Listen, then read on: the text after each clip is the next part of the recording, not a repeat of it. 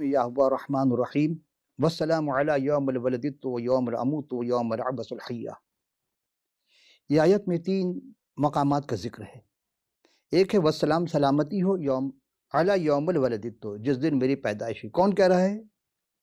یہ حضرت مسیح خود فرما رہے ہیں اور یہ قرآن شریف کا انیسواں سورہ سورہ مریم، اور آیت نمبر ہے تینتیس۔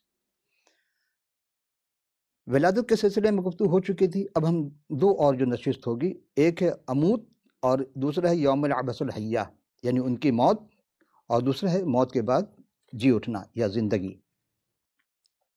یہاں ہم دیکھتے ہیں کہ کیا واقعی موت ہوئی کہ نہیں ہوئی؟ اب یہ بحث، دوسری بحث جاری ہے۔ گزشتہ نشست میں ہم نے چہرے سے متعلق گفتگو کی تھی کہ بہت ساری احادیث پیش کی کہ ہاں چہرے تب بدل گئے اور بارہ اشخاص کے نام آ گئے۔ تو اب سوال یہ پیدا ہوتا ہے کہ وہ بارہ اشخاص جس کو سلیب دیے گئے تھے، اس کی قبر کہاں ہے؟ یہ ہم نے گزشتہ میں سوال کیا تھا آپ سے۔ اور آج جو ہم گفتگو کرنے جا رہے ہیں، وہ ہے کہ کیا واقعی مسیح کی موت ہوئی کہ نہیں ہوئی؟ تو اگر موت سے پہلے کیا مسیح نے کوئی اپنے پیشن گوئی کی تھی کہ نہیں کی؟ تو آئیے دیکھتے ہیں، سب سے پہلے ہم لوکا رسول کے معرفت لکھی گئی انجیل جلیل اور اس کے بائیسویں رکو، نوے رکو کی بائیس تا پچیس آیت۔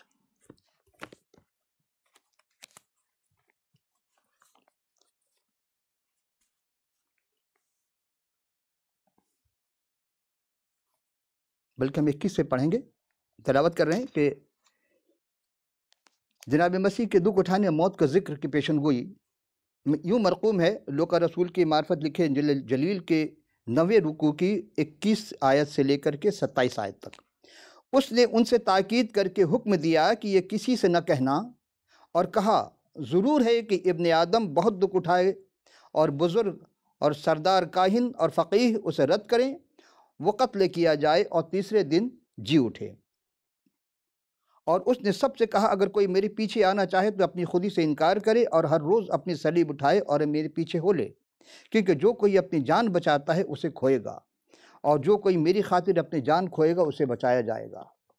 اور آدمی اگر ساری دنیا کو حاصل کرے اور اپنی جان کھو دے، کیا اس یا اس کا نقصان اٹھائے اس سے کیا فائدہ ہوگا؟ کیونکہ جو کوئی بھی مجھ سے اور میری باتوں سے شرمائے گا ابن آدم بھی اپنے اور اپنے باپ کے اور پاک فرشتوں کے جلال میں آئے گا تو اس سے شرمائے گا۔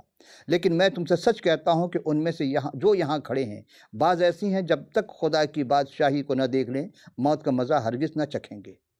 اذان گرامی، یہ ایک دلیل کہ آپ نے پیشن گوئی کی۔ اب دوسری دلیل ہم پیش کریں مرکز رسول کے معرفت لکھے انجیل جلیل اور اس کے آٹھویں آٹھویں رکوع کی ہم صرف چند آیتیں پیش کریں گے، اکتیس سے۔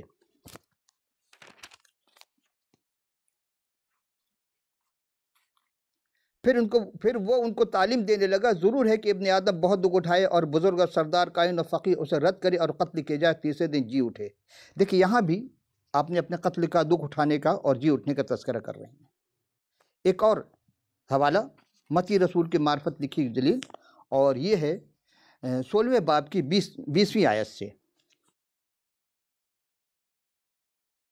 اس وقت اس نے شاگردوں کو حکم دیا کہ کسی کو نہ بتانا کہ میں مسیح ہوں۔ اس وقت سے یسوع اپنے شاگردوں پر ظاہر کرنے لگا کہ اسے ضرور یروشلیم کو جائے اور بزرگوں اور سردار کاہنوں اور فقیحوں کی طرف سے بہت دکھ اٹھائے اور قتل کیا جائے اور تیسرے دن جی اٹھے۔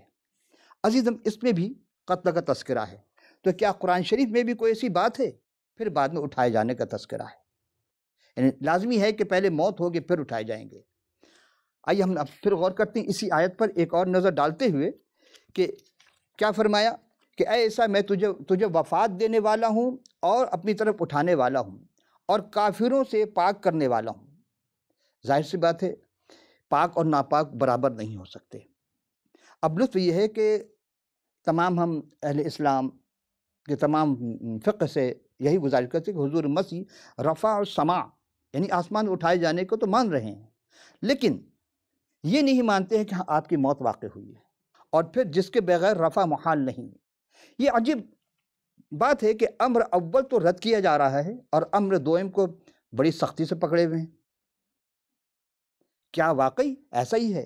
حالانکہ لازم ہے، اگر ہم اسی سورہ بقرہ کے پچاسویں نمبر پچاسی نمبر کی آیت میں جائیں تو اس میں ہے افتاون من بعض الکتاب و تکفرون بعض یعنی کیا تم کتاب کے بعض احکام کو مانتے ہیں، بعض باتوں کو مانتے ہیں اور بعض کو رد کر دیتے ہو، انکار کر دیتے ہو؟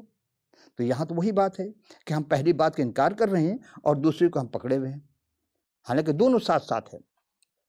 اسی طرح ہم جب دیکھتے ہیں ایک اور آیت کہ جب سوال آئے گا کہ قیامت کے دن کی جب خدا حضرت عیسیٰ علیہ السلام سے پوچھیں گے، وہ ہے علیہ مشاہدہ ماتہم فی ولما وطوفنی کنت انت رقیب، کہ جب تک ان میں رہا، ان کا نگہ باندھ رہا۔ یعنی سوال کیا گیا کہ کیا تو نے ایسی تعلیم دی تھی تین خداؤں کا؟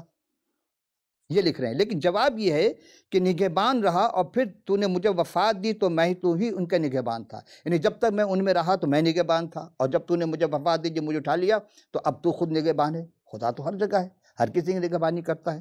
عزیزم اس سے صاف ثابت ہوتا ہے کہ ان لوگوں کو صحیح تعلیم پر حجت نہیں تمام کر دیا کہ حضور کی وفات ہوئی یعنی حضور مسیح سلام علیہ کی وفات واقع ہوئی ہے اور اپنے جنین حیات میں تو ان سے نگہبانی کرتے رہے، مگر موت حضور کو واقع ہوئی ہے۔ اچھا اب اگر حضور کو ان سے علیحدہ کر دیا ہے تو انہوں نے غلط عقیدہ بنا لیا۔ ایک اور صاف آیت وقول وَقُولُهُمْ إِنَّا قَتَلْنَا الْمَسِيحِ ابْنِ مَرْيَمَا رسول اللہ وما قتل وما صلبو یہ پہلی آیت ہم جب پیش کرتے پہلی نشست میں یہ وہی ہے کہ کہ یہودیوں نے ایک قول پکڑ لیا کہ اور ہم نے مریم کے بیٹے عیسیٰ کو جو اللہ کا رسول سے قتل کر دیا۔ حالانکہ وہ وہ نہ قتل کیا، وما قتل وما صلبو نہ انہوں نے قتل کیا اور نہ ہی انہوں نے مصلوب کیا۔ بات بالکل سچ ہے۔ یہودیوں نے نہیں کیا۔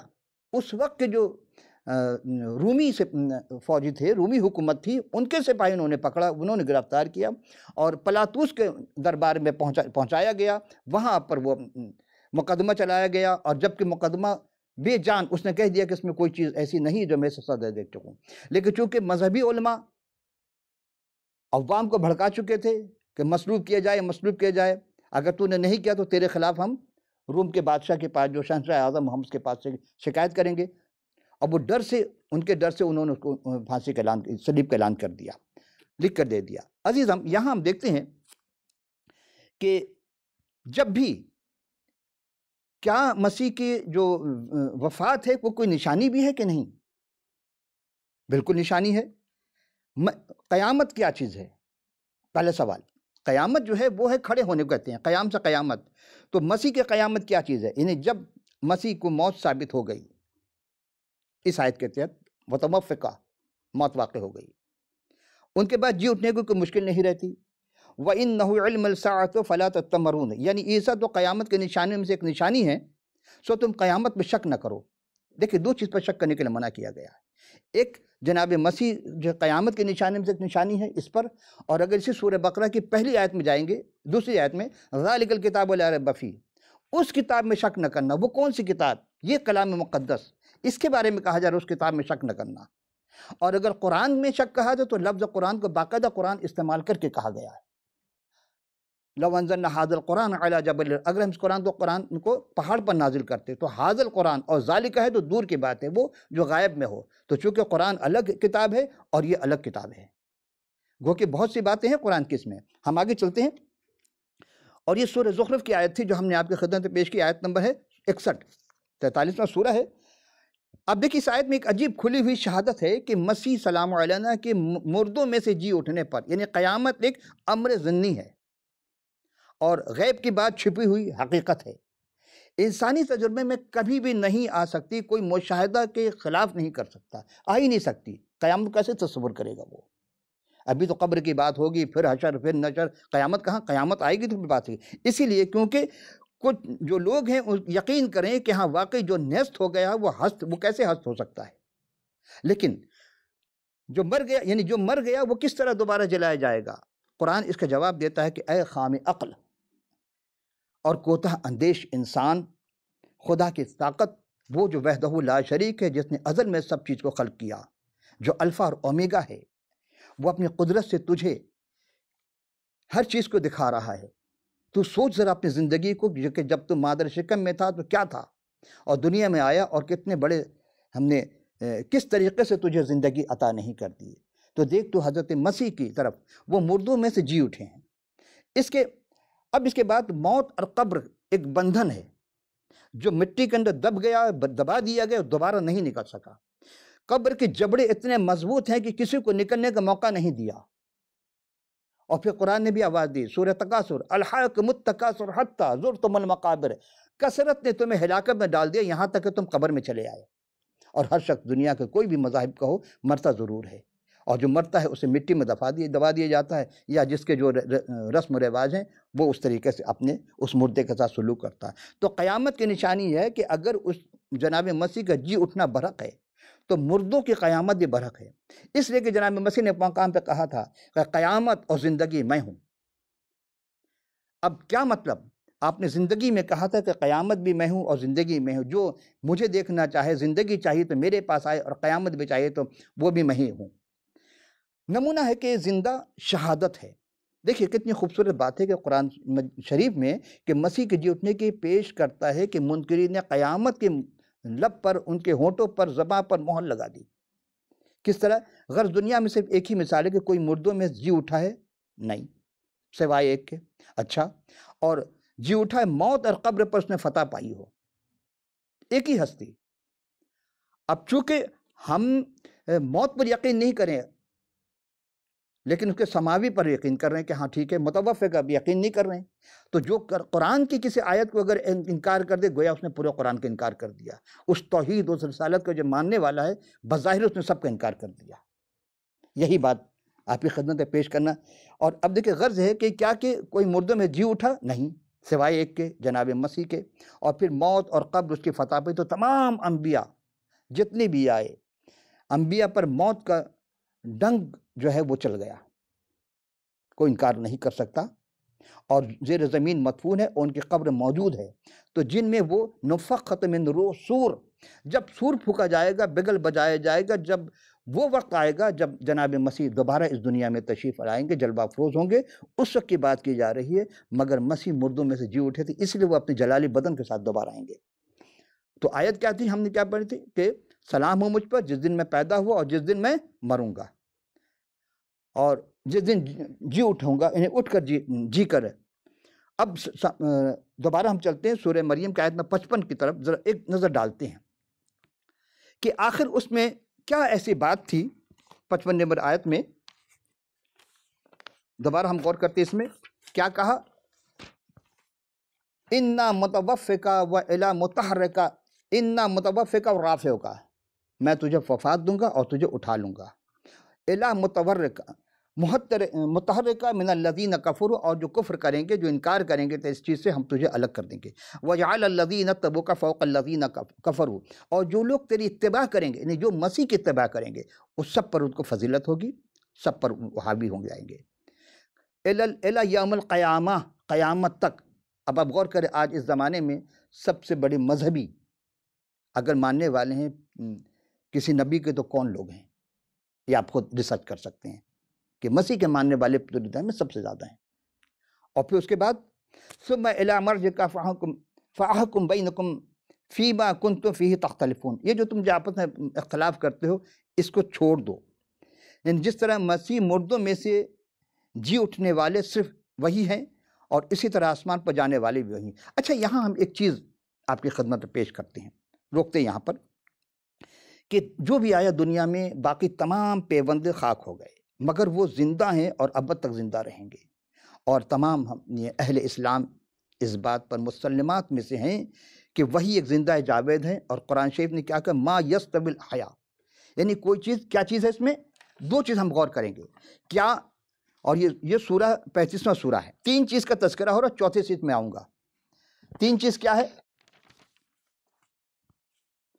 سب سے پہلی بات یہ ہے کہ کیا نابینا اور بینا برابر ہے؟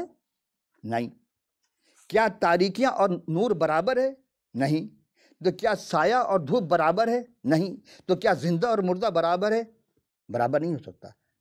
اب سارے جو بھی ہے جس جس میں روح ہے وہ سارے مردہ ہو جائیں گے، لیکن مسیح آدمی زندہ ہے۔ اور کہاں ہیں سب مانتے کہ آسمان پر ہیں اب یہ پھر یہاں ہم دیکھتے ہیں اسی بات کو کہ سورہ بقرہ کا آیت نمبر دو سو دس میں ہے کہ کیا اسی بات کے منتظر ہیں؟ کس چیز کے کہ اللہ بادلوں کے سائے میں سے آ جائے اور فرشتوں بھی اتر آئیں اور سارا قصہ تمام ہو جائے۔ میں قرآن سے نہیں ہٹ رہا ہوں، دونوں کتابیں ساتھ ہیں۔ اسی چیز کو سورہ نساء کی آیت نمبر انہتر میں ہے کہ اور قرب قیامت نزول مسیح کے وقت اہل کتاب میں سے کوئی فرد یا فرقہ نہ رہے گا۔ مطلب سب ایک ہو جائیں گے۔ مگر وہ مسیح پر موت سے پہلے ضرور صحیح طریقے سے اگر ایمان لے آئیں گے تو قیامت کے دن مسیح ان پر گواہ ہوں گے۔ اب اس کو کیسے سمجھیں گے؟ کہ جب وہ آئیں گے تو کیا ہوگا؟ کس بات کی گواہی دیں گے؟ یہاں ایک اور چیز کہ دیکھتے ہیں کہ کیا مسیح جب اس دنیا سے آپ کو سلیب دی گئی، کیوں دی گئی؟ سوال ہی پیدا ہوتا ہے۔ کیا گن کے شکل میں جو دوسروں کو دی گئی تو کیوں دی گئی تھی سلیب اس لیے کہ مسیح نے الوحیت کے وہ کام انجام دیے جو کوئی نہیں کر سکتا تھا۔ مردہ کو کوئی نہیں زندہ کر سکا۔ ایک دن کا نہیں، بلکہ ایک بچی مر گئی تھی جس کا ہم پہلے بھی تذکرہ کر چکے، وہ گھر میں تھی، بارہ سال کی بچی تھی۔ آپ نے کہا نہیں سو رہی ہے۔ تو سویا مردہ برابر ہوتا ہے۔ وہ جب صرف اس نے کہا کہ اے بیٹی اٹھ، اور اسے گھر والوں سے کہا کہ اسے کھانا کھلاؤ۔ بھوک لگی اسے۔ سو کے اٹھتے تو بچے کھاتے ہیں۔ ایک جنازہ جو کہ قبر اور گھر کے درمیان میں موجود تھا۔ بیوہ کا بیٹا تھا۔ اسے آپ نے زندہ کیا ماں کے، اس حیت کو، اس کیفیت کو دیکھ کر کے ترس کھا کر کے۔ تو انسانیت، انسان، مسیح کامل انسان تھے۔ اب ہم جب دیکھتے ہیں کہ ان کا ایک دوست جو چار دن سے زیادہ، چار دن ہو چکا تو اسے دفن ہوئے۔ بدبو آ چکے تھے اس کے لاشوں میں۔ آپ نے کیا کیا؟ صرف نام سے لے کر آواز دیا، لازر باہر آ اور وہ کفن سمیت باہر آ گیا۔ تو اس کیفیت کو دیکھ کر کے کہ یہ کوئی نہیں کر سکتا۔ تو اس زمانے کے فقی فرسی جو تھے، انہوں نے کہا کہ یہ تو ہمارے تو سب چیز بند کر چکا، یہ تو اس طرح مردے زندہ کر حالانکہ وہ چاہتے تو پورے قبرستان قبرستان زندہ زندہ کر دیتے۔ لیکن ایسا نہیں کیا۔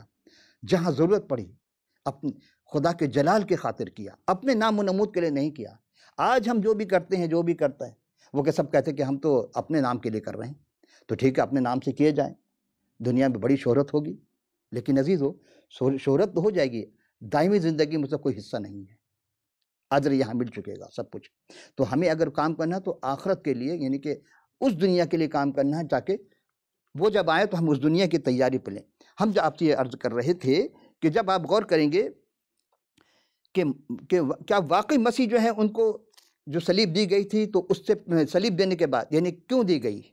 آپ کی الوحیت کے آثار کو الوحیت جب کہا کہ، اور اس سلسلے میں انہیں مختلف جگہ عدالتوں میں لے جایا گیا جیسا انہوں اپنی پیشن گوئی پہلے کر دی تھی۔ اور سب سے پہلے قائفہ جو تھے، سردار کاہن ان کے پاس لے جایا گیا۔ وہاں سے پلاتوس کے دربار میں لایا گیا۔ اس نے تفتیش کی تو کوئی ایسا جرم نہیں پایا۔ اس نے کہا کہ ہم اس میں کوئی عیب نہیں دیکھتے۔ تو لوگوں نے جو فقیر تھے، اس زمانے کے فریسی تھے، جو علماء علماء دین تھے اس زمانے کے، انہوں نے کیا کیا کہ نہیں، اسے مسلوب کرو۔ ایک ڈاکو، جس کو بارابا کہتے ہیں۔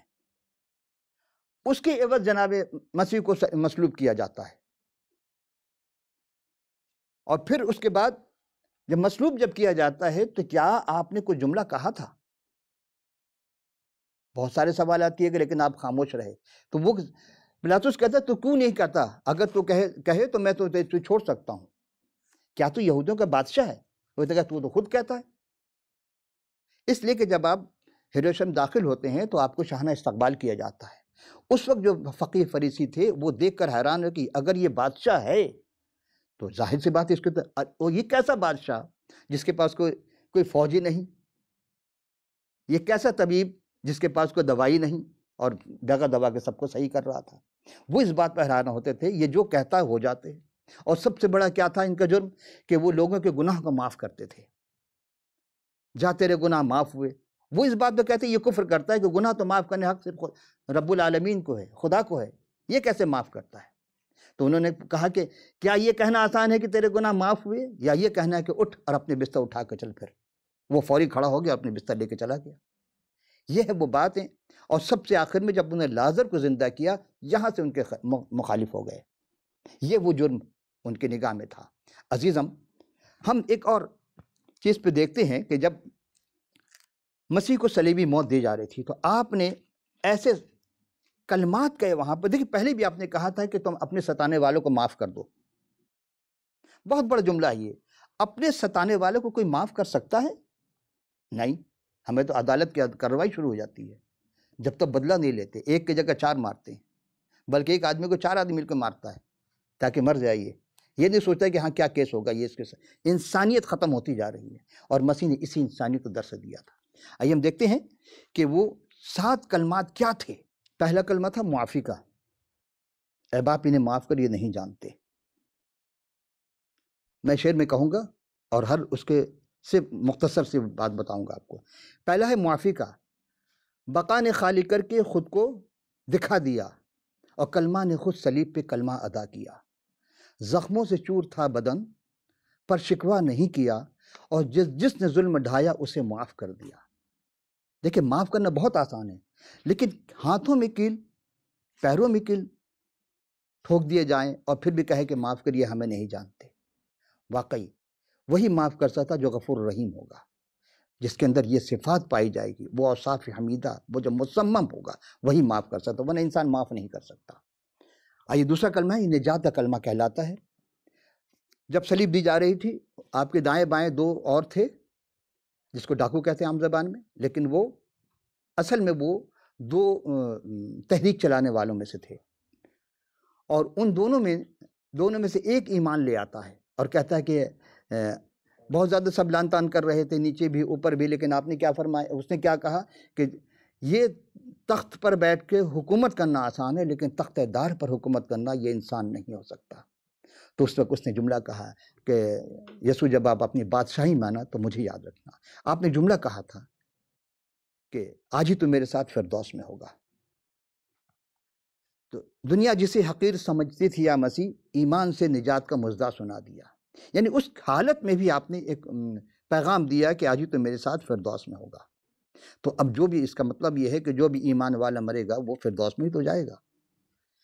تیسرا کلمہ تھا محبت کا۔ یہ آپ نے اپنی مادر گرامی جناب مریم مقدسہ سلام اللہ علیہ کہ اصل میں فرضیت ادا کی انہوں نے فرض کیا تھا، بیٹے، ایک بیٹے ہونے کے ناطے۔ تو آپ نے ایک جب اشارہ کیا، کزن تھے، بھائی تھے، ان کے طرف اشارہ کیا کہ آج سے یہ تیری ماں ہے اور اب اس کی طرف کہا کہ اے عورت، اے خاتون مقدس جسے میرے رب نے اول میں آپ کو انتخاب کیا تھا۔ تو یہ آج سے آپ کا یہ بیٹا ہے۔ یعنی کہ بیٹا بن کر کے دوسروں کو کہا کہ یہ یہ تمہاری ماں ہے اور یہ تمہارا بیٹا ہے۔ اس کے لیے ہے کہ اس عالم نظا میں ماں کا رکھا خیال اور محبت کا درس دے کر فریضہ ادا کیا۔ چوتھا کلمہ ہے کفارہ کا۔ کفارہ سب کے گناہوں کا بوجھ یعنی کہ اپنے اوپر گناہوں کا موج اٹھایا۔ اور کفار سب گناہوں کا دیکھ کر سلیب پر۔ برہ جس کام سے آیا تھا، وہ کام کر دیا۔ پانچواں تھا جی دکھ کا کلمہ تھا۔ پیاس کا کلمہ ہے یہ اور دکھ بھی ہے۔ دراصل یہ پیاس کا کلمہ ہے۔ اور ایک انسان ہونے کے ناطے، چونکہ کامل انسان بھی تھے، جو اذیتیں دی گئیں، جو صحبتیں دی گئیں، جو کوڑے لگائے گئے، کانٹوں کا تاج سر پہ رکھا گیا۔ اٹھارہ گھنٹے سے زیادہ جناب مسیح کو پیاسا پیاسا رکھا گیا۔ تو اس وقت آپ نے جملہ کہا تھا، میں پیاسا ہوں۔ یہ کون سی پیاس کی بات ہو رہی ہے؟ کہ وہ انسانیت کے ناطے پیاس تو تھی، لیکن عالمی عالم انسانیت کو درد دینا چاہتے ہیں کہ دیکھو، ہماری پیاس اب بھی تمہاری خاطر ہے کہتا تمہاری روح جو ہے نا، وہ بھٹکنے نہ پائے۔ بعض علماء یہ بھی کہتے ہیں، آئیے ہم دیکھتے ہیں اس کا شعر کیا ہے۔ تھا حلق خشک پیاس سے، بس اتنا کہہ سکے، پیاسا ہوں میں، اور کس کرب سے کلمہ ادا کیا؟ حضرت بھی چھٹا کلمہ تھا، آپ نے کہا تمام ہوا۔ جب سرکہ لگ سرکہ لگاتا ہونٹوں پہ یہ کہہ کے جان دی کہ مشکل تک کام، تمام ہوا تنہا ادا کیا۔ یہ وہ کام دنیا میں کوئی انسان نہیں کر سکتا تھا جو آپ نے ادا کیا۔ اور آخری کلمہ تھا سپردگی۔ وہ یہ تھا کہ ابن خدا نے روح جب اپنے خدا کو دی، اب مسلوب ہو کے شکر کا سجدہ ادا کیا۔